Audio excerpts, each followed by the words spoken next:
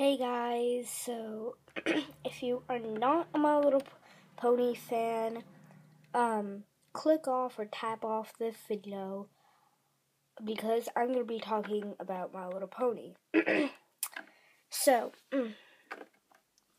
My Little Pony, I think the last episode I watched, I think it was a season finale it was when the changelings. Oh, spoiler right now. The changeling. So if you didn't watch that episode, go watch it. Um, spoiler. Turn down your volume if you don't didn't watch this. The changelings turn good, and I think on the episode it's a season finale. There's two parts to it.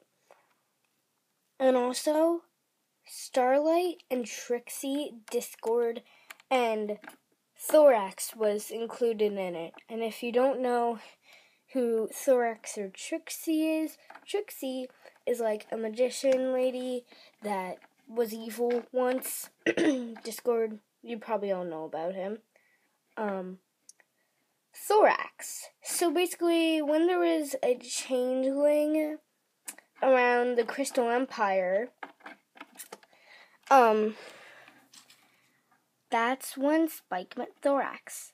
Then Thorax met Starlight, I don't know when, but his wings changed, and he doesn't feed off of love anymore.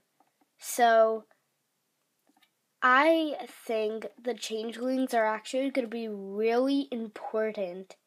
And also, they look so adorable. I was I I was fangirling um when when I saw that episode the first time, I'm like,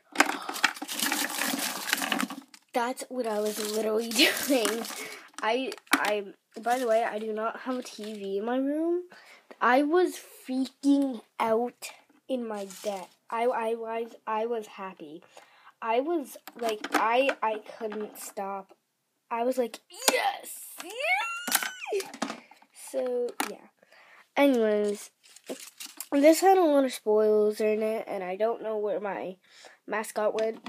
Well, one of my mascots. So yeah, I hope you guys enjoyed this video, and goodbye. Bye, my little friends. Bye.